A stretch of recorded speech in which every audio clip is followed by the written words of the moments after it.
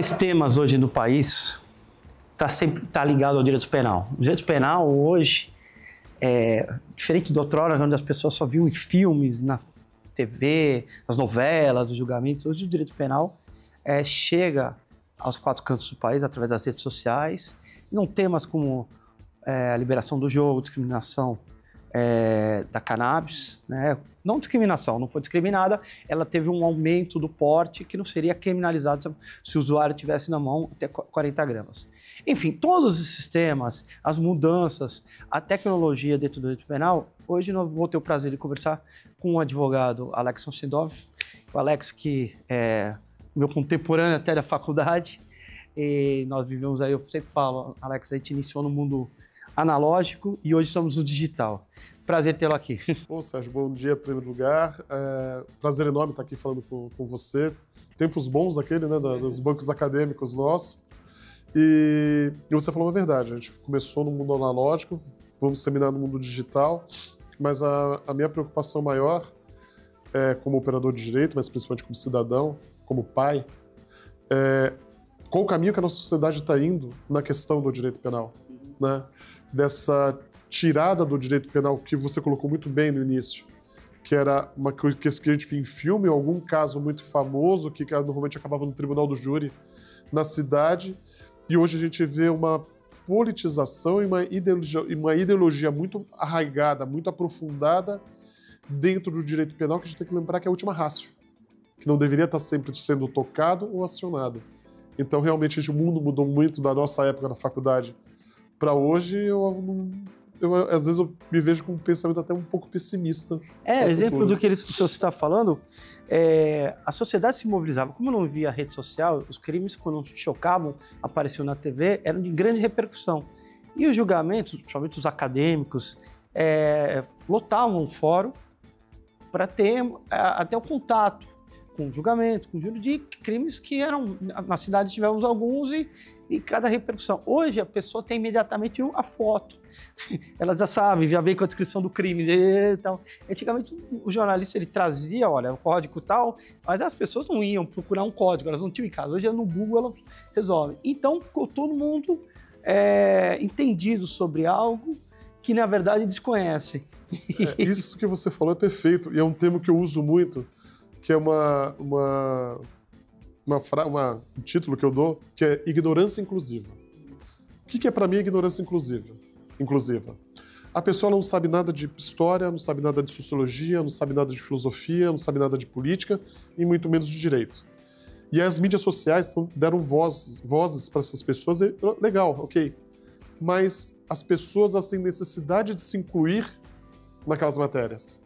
Então elas pegam, uma, é, é, às vezes, um meme, pegam uma informação de uma, de uma imprensa mais sensacionalista, ou algo que é muito, é muito mais fácil você fazer uma crítica a uma determinada conduta sem saber a raiz daquela conduta, ou saber, saber tecnicamente a, a origem sociológica daquela conduta, às vezes é muito mais fácil você fazer a crítica daquilo do que fazer criticar, simplesmente, do que você fazer uma análise aprofundada. E a pessoa tem a necessidade de se colocar nas mídias sociais como uma pessoa pensante. Ele é um ignorante que está querendo ser incluso no meio social. É, esse é, a ignorância inclusiva. É, na verdade, isso teve uma grande repercussão. E aí vai até de encontro. A gente começa a tomar corpo na entrevista, perguntando até. É porque há um limite que as pessoas ainda não entenderam. Eu só vou, favor, no código de conduta. É, como você tem um código de conduta através de leis, que são os códigos penais, civil, para você ter um direcionamento onde a sociedade, a sociedade se forma com regras, né? Eu diria, ela não é como, diria lá um, um filósofo inglês, lá, o Thomas More, que lá atrás ele falou, não, ele tinha criado uma, uma utopia, um, lugar fantástico, onde as pessoas tinham carga horária de nada, e ele acabou até perdendo o pescoço. Mas o, essa ideia não existe porque você precisa de regras. E a, e a internet precisa de regras. E as pessoas estão confundindo um pouco a, a, liberdade de expressão com ofensa. E você precisa dar regras para essas pessoas, dessas que você citou até no Idiota Inclusivo. É, não, é o idiota inclusivo, ignorante, ignorante inclusivo. E é, é, é interessante porque antes desse, dessa, desse tsunami que teve das mídias sociais, Sérgio, é, já havia nas relações humanas a, a previsão é que você não tem uma liberdade de expressão absoluta, aliás, nenhum direito é absoluto. Então, por, por exemplo, antes das mídias sociais, se eu, eu, ofendesse de alguma forma, tá lá no Código Penal, calúnia, injúria e difamação. E tinha punição. E as pessoas hoje e aí, e aí volta na questão do, do, fundo ideológico, né, muito pautado em fundo ideológico. Hoje as pessoas elas batem no peito que quer ter liberdade de expressão para ofender falando que isso é algo novo, que a justiça está decidindo. Às vezes os posicionamentos que existem na, de falar que tem que ser regularizada a, a, internet, tem que ter responsabilização pelo que se coloca na internet, não é de hoje, isso já existe. Né? E aí que é aquele problema de, da, da, da ideologia arraigada na mídia social, da falsa informação, da falsa sensação de verdade. Inclusive, alguns colegas nossos, que eu acho absurdo isso, acabam defendendo que a liberdade de expressão é absoluta. Não, não é. Ela não é e nunca foi e nunca será e nem tem que ser. Né? Existe uma diferença enorme entre você ter o direito à, liberdade de expressão e cometer um crime de expressão. Tem uma de, de, de, de, crime de você colocar a, pela sua expressão cometer um crime. E as pessoas acabam entendendo, achando que a internet é um mundo sem lei, que é um mundo à parte do nosso mundo aqui, né? É, quem entendeu um pouco da formação do Estado, lá atrás, um Estado francês, um Estado inglês, lá, quando se forma um Estado, você vê como esse, com esse regramento, fica claro. É, lá, quando Montesquieu falava da divisão dos, dos poderes e tudo mais, e, e onde é, o, o, Estado é formado por uma. O Estado, inclusive, foi formado por uma necessidade, porque os caras que, que, da burguesia que ganhavam, não pagavam impostos e isso e aquilo, os caras tiveram que se formar. Tudo se forma em razão da economia. Na Alemanha, os Oberrat, os caras se formam tudo por causa de um ideal econômico. Mas o que me chama a atenção, até me, me traz, é que justamente isso. É, eu já escutei mais de uma vez. Ele tem, a pessoa tem que ter liberdade de expressão. Deixa falar. Se não for errado, é processa. Aí e, e é, o, é, a ideia, isso tudo. E esse é um, um ponto que o pessoal é, insiste. E um outro é que uma confusão com o direito americano, que é completamente distinto e feito por jurisprudência. E alguns, pô, o o, Larry Fink como um povo e acha que tudo pode aqui. É, é, é um problema. É, a gente vê que você colocou bem né, na, Montesquieu, a partição de poderes. A gente olha a Carta Magna, né, parece que o João Sem Terra foi uma pessoa que teve um, foi um iluminado que fez a Carta Magna, não foi. Foi por questão de pressão do Estado. Aí é o inverso, não era os burgueses, era o Estado sobrepondo a população. Então os, os burgueses forçaram a ter uma limitação, o Estado não ser aquele o fominha, né? Mas o que você colocou é, é, é, é absolutamente perfeito, Sérgio, porque o que a gente, a gente verifica hoje é aquela. Até voltando àquele tema da ignorância inclusiva, as pessoas não tendo a noção exata do que pode e o que não pode. Entrando no mundo e às vezes acreditando que a internet é um mundo, e eu falo pela internet porque a maior parte ocorre lá, que é um mundo completamente sem lei.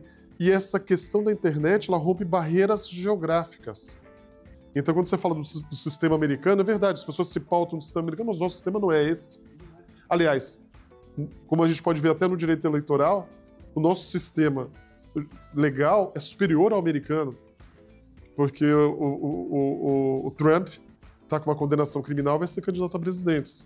Se fosse aqui no Brasil, ele não poderia, né? porque ele estaria incluído na lei da, da ficha, ficha, suja. Então, essa, essa quebra da, da, da, da questão geográfica, somado a empresas que são gerem essa informação no mundo inteiro e sabem jogar e lidar com essa eh, informação, é algo absurdamente perigoso. Por que é perigoso? Porque você está num campo supranacional, né, do interesse das empresas é supranacional, e muitas vezes essas empresas são as fomentadoras pela não regulação. E por quê? Porque se não houver regulação, elas têm um campo aberto para mexer da forma que ela bem entende. Eu tenho interesse em determinado país, eu sou o dono de uma, de uma, mídia, de uma mídia enorme, eu tenho interesse em determinado país, eu posso fomentar o golpe naquele país por, por, recursos e produtos que eu quero daquele país. E extremamente perigoso. Extremamente é, perigoso. Faziam isso outra vez naquele momento de Guerra Fria, que era behind, todo mundo é, é coordenando, mas é, hoje a, você colocou é, é pertinente porque está faltando assim a, um limite entre do que se entende. É, então, as pessoas estão pegando é, essas questões e levando como, um, como se fosse uma final de campeonato. E a nossa análise aqui, ela é isenta de qualquer ideologia. Nós estamos vendo, a, quem pelo menos estudou um pouco, entendeu um pouco, ou viveu, ou já até passou por outros momentos, viu crises em outro país, então entende é, o que, que, é importante. Quem leu, por exemplo, sobre o nazismo, o nazismo não aconteceu de um dia para outro. Foram, até tomar o poder, foi de 20, 22 é, 23 foi o golpe da cervejaria lá com os caras. Os caras foram presos, mas começa lá de 21, 1921, eles foram tomar o poder em 1933. Então ele passou durante. Eles passaram durante 10, 12, 13, 14 anos fomentando numa juventude que não era toda a Alemanha. A Alemanha acabou caindo no colo do Hitler.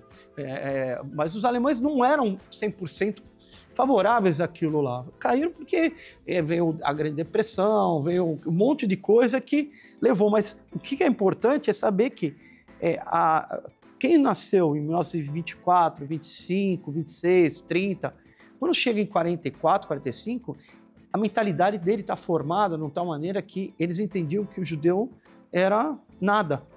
É, quando você pega uma rede social e você passa Telegram, você passa sempre com a mesma ideia, seja para qualquer que seja o lado, é, e sempre de uma maneira assim, é, que se mantenha o mesmo pensamento, o mesmo ódio, mentiras, teses, teorias das conspirações, todos isso, é, você tem uma formação de, uma, de, um, de indivíduos que pensam só de um jeito. E a análise aqui é quando nós está vendo um todo. É, nós temos aí o caso agora da é, todo mundo entende que a, a, a, maconha foi descriminalizada. E não, é, e não foi. É, é, é, é, quando você torna o ser humano, você faz a coisificação do ser humano. Né? Quando você mencionou a questão do, do, nazismo, e quem não conhece a história está condenado a repeti-la, a questão do o antissemitismo é muito anterior ao nazismo, mas foi o instrumento que foi colocado para criar os grupos que você coisifica aquele grupo. Aquele grupo não é um ser humano inferior que tem que ser colocado para baixo para um ser humano superior sobreviver. Fizeram isso.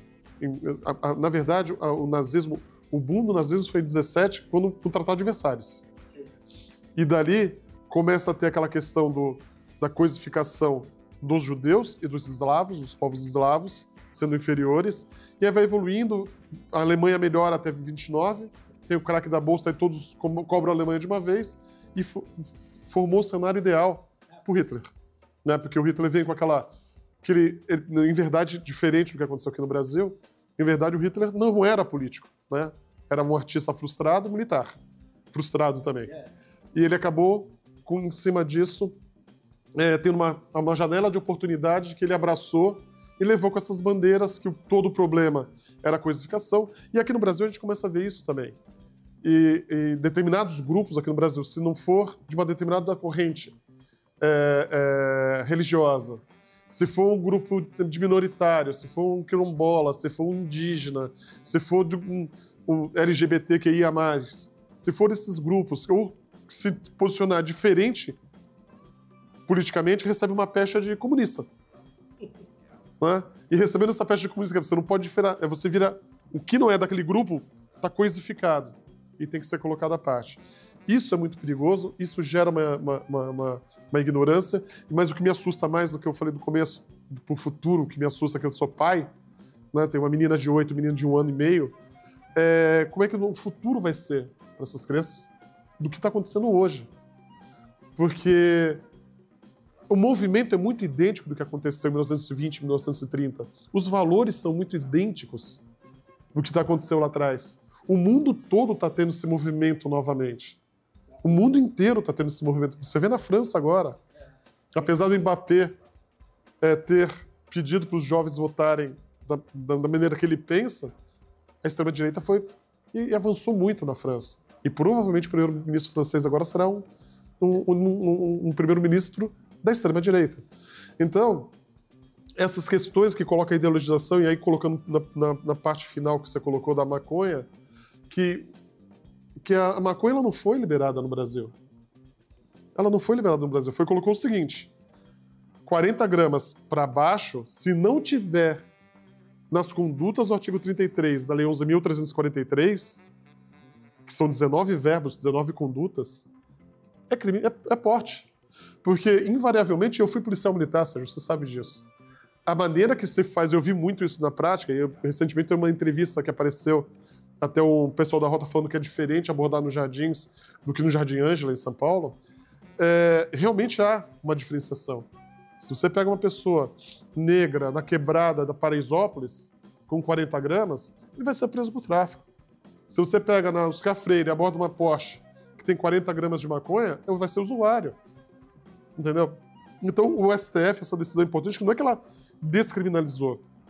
Ela simplesmente falou: olha, essa quantidade, se não tiver nos verbos, é claro, se eu estiver te vendendo 20 gramas de maconha, é tráfico.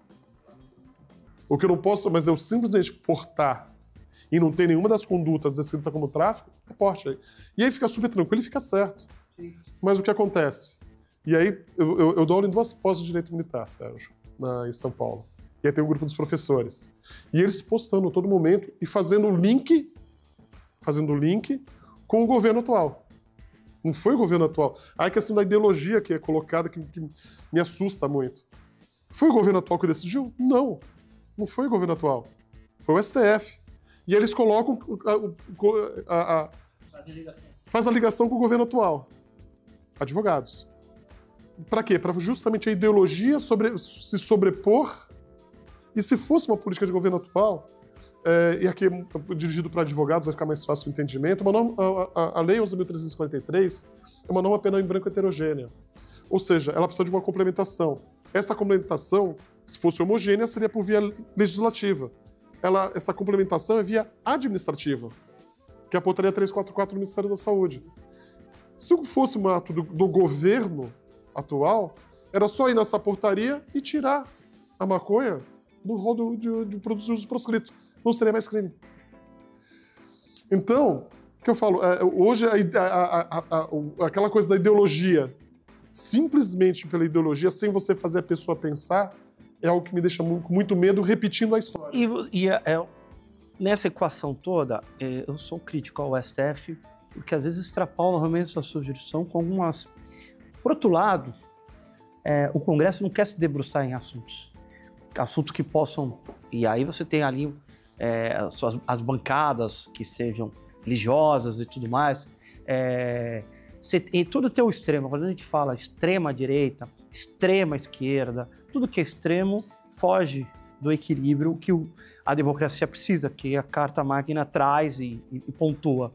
É, mas o STF, neste caso, em outros casos, por exemplo, Airbnb, além do inclinato é de 91, ninguém está se debruçando, ninguém, eu não vi um legislativo para, ó, precisamos fazer, rever essa lei, que mudou a economia, o mundo, a questão de locação, tudo mudou. Bom, é, não se debruçou. Não se debruça nessa questão aí. Então, que é uma questão que você, na prática, você como policial viu, como você é advogado, então você viu essas disparidades que existem num país onde tem um abismo social enorme.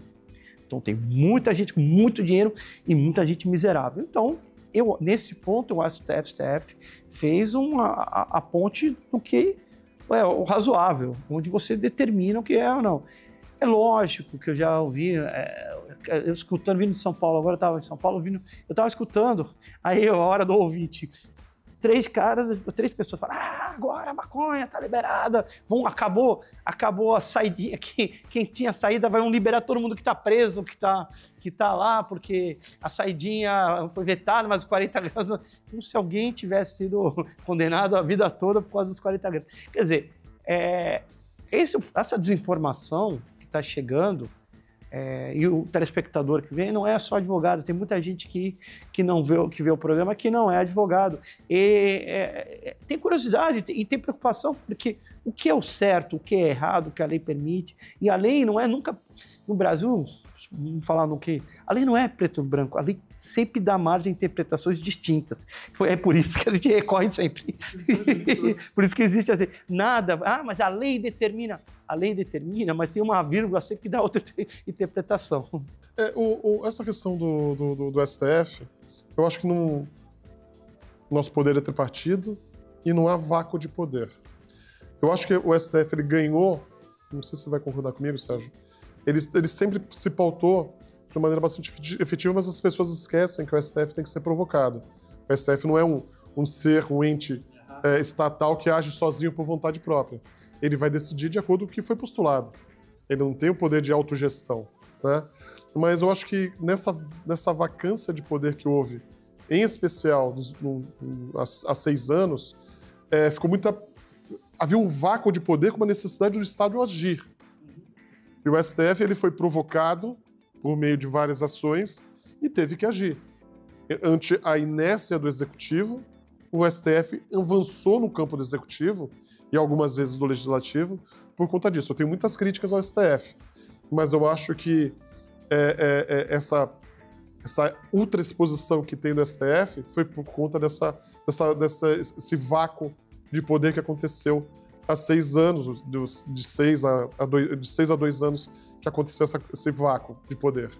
Mas o, o, o, um ponto que você colocou é, é bastante interessante do, do, da saidinha, né? que o pessoal fala da saidinha temporária, e eu volto a bater naquele ponto da, da ideologização. A nossa lei, por incrível que possa parecer, Sérgio, por incrível que possa parecer, a nossa lei de execuções penais é uma das mais modernas do mundo. E aí eu vou fazer um comparativo é, é a mesma lei aplicada a instituições penais diferentes. Um policial militar que comete um crime, ele é duas vezes pior do que o cidadão comum. Porque você pode colocar uma questão de fundo sociológico quando a pessoa cometeu o crime. Tem pessoa que comete por ser. por questão de índole mesmo. Um policial que comete um crime, eu colocando como ponto policial militar, que comete um crime, ele tem um salário, pode ser, não é um salário bom em São Paulo, não é, mas ele tem um salário e fez um juramento. Então, esse juramento de proteger a sociedade. Ele comete o crime, ele é muito pior do que aquele que veio sem, sem possibilidade nenhuma. E aí existe a lei, o presídio militar Romão Gomes, e existe uma penitenciária comum, o sistema SAP em São Paulo. Qual é a taxa de reincidência do Romão Gomes? E qual é a taxa de reincidência do sistema comum? No Romão Gomes tem uma taxa de reincidência de 2%. No sistema comum, quase 80%. E, mas qual é a lei que é aplicada? É uma lei militar específica? Não. É, o, é, é a lei de execuções penais. Qual é a diferença de um de outro? A forma que é tratado o preso. O preso ele fica lá, ele vai, além de ter toda a sua dignidade preservada, no tratamento de familiar, no tratamento que o Estado, ele está sob tutela 24 horas por dia do Estado. Eu tive um cliente meu que ele cometeu um feminicídio, ele foi condenado, e ele saiu de lá, ele, dentro da, do Romo Gomes, ele fez uma faculdade de medicina veterinária. Ele saiu como médico veterinário. E, e é comum isso, esses cursos de formação, é, é, é, a pessoa estudar, criar uma. Ela sai direcionada para a sociedade. Aí você olha no sistema comum. O que, que eles fazem? A regra: montar, montar pregador de varal, pregador de roupa, ou costurar bola. Aí a pessoa sai, ou carpi. Aí pega um cara que viveu na praia, vai preso lá para Presidente Prudente, para Araçatuba. Quando ele sai, ele vai trabalhar é, costurando bola? Ele vai trabalhar pregando varal? E às vezes a pessoa passa 8, 10 anos, 24 horas por dia sob a tutela do Estado, sob a tutela do Estado, e sai agasalhado por quê? Aí, no tratamento, o Estado oprime, o Estado pega, trata mal a família, aonde ele se socorre? Ao crime organizado. E ele entra para o crime organizado. Então, e aí pegando a questão da saidinha temporária, coloquei tudo isso com a questão da saidinha temporária. Ela destensiona o sistema. A pessoa, ela, ela fica no comportamento, ela se regula no comportamento de não cometer faltas no cumprimento da pena para poder ter o benefício da saída temporária. E, Sérgio, é muito difícil. A pessoa a pessoa está no sistema que falta água, comida péssima, a, a, a cama é concreto e tal. Às vezes uma cela, 25, 30 pessoas numa cela que é menor do que esse espaço aqui que a gente está até o fundo. E, de repente, essa pessoa ela sai, volta para casa, ela tem que ter muita força de vontade para voltar para o sistema daquele. Alex, você sabe que todos os advogados que vieram aqui, criminais, e todos são estudiosos, fizeram pós-graduação, mestrado, e todos, todos, uns são professores universitários, mas a grande maioria têm a mesma ideia que você, porque vocês vivenciam a, a prática, vocês participam entre é, advogam, quer dizer, vocês têm um contato com isso, e todos eram contrários à, à negação da negativa da saidinha. E, e, que fica, porque isso aqui não é um, é, isso é um estudo, é, é, é, vivência e tudo mais, não é uma ideologia. Ah, mas ele se matou a sua mãe e você. É lógico que o meu sentimento como indivíduo, para mim, vai ser de total ira e total. que eu vou achar, mas se eu pensar bem, a ideia é uma ressocialização. O, o Brasil, infelizmente a gente não tem mais tempo, mas o Brasil, é, e aí a gente tem, tem problemas econômicos e principalmente sociais. A sociologia devia ser obrigatoriedade, eles queriam acabar, mas o Brasil tem problemas sociais enormes. E nesses problemas sociais estão grundados a questão de infraestrutura. É, o Brasil é um país burocrático que precisa ser burocrático para ter o ganho de, de terceiros. O Brasil é, um, é, é, é mais fácil de se jogar fora quem não é socialmente importante do que você tentar socializar e aí cria-se uma mentalidade não, o cara vai morrer, precisa morrer. Quer dizer, enfim, esses são alguns debates que a gente vai, que você vai estar convidado para voltar aqui para te debater, porque isso aqui sempre é uma reflexão. Além de, além de falar de temas atuais ligados ao direito, é, como essa questão das, a, que foi sobre o porte, eu falava, o limite do porte da, da maconha, é, a gente tem essa, essa obrigatoriedade como advogados também de é, trazer a ideia correta sobre a função da sociedade, a função do Estado, é, os direitos que o cidadão privado tem, até onde ele pode ir. Enfim, é a nossa obrigação também. Né? Exatamente. E o que você falou, a gente.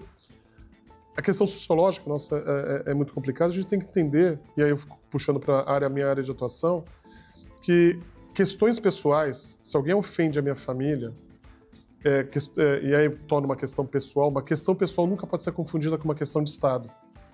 E, é, e, e é o que as pessoas colocam é isso: ah, matou, tem que ficar preso o resto da vida, tem que, tem que morrer na cadeia. Fez um crime, tem que ficar preso. Não, a gente esquece que essas pessoas voltam para a sociedade. E como é que a gente quer que essa pessoa volte para a sociedade? Volte um cidadão realmente cônscio da sua, do que cometeu de errado e reeducado ou melhorado? Ou você quer que ele seja colocado numa uma masmorra para quando saia ele fale que por qual motivo eu tenho eu vou ser cada vez pior, eu vou ser cada vez mais violento, eu vou ser cada vez se eu sei que eu vou receber aquele tipo de tratamento e eu vou assaltar, se a polícia chegar, eu vou disparar tudo que eu tenho de, de, de na minha munição porque eu não quero voltar e se torna uma sociedade cada vez mais violenta, cada vez mais é, perigosa. Né? Então, é uma estrutura de base, isso eu acho. Você é bem mais novo que eu, mas eu acho que a gente não vai ver. A gente vai ver. A gente não consegue ver isso na, no ah. nosso tempo de existência. A gente, essa mudança a gente não vai conseguir ver no nosso tempo de existência. Estudar a história do Brasil, a gente sabe que, que é uma questão de uma transformação tem que ser total, quer dizer, total e começando bem de cedo é bem difícil. É, é uma coisa que está enraizada e você tem que mudar uma concepção, uma ideia. Não é um negócio fácil. Infelizmente, a gente não vai ver isso daí. De qualquer maneira, muito obrigado, Alex. Eu que agradeço, estou sempre à disposição. Tá bom, até a próxima.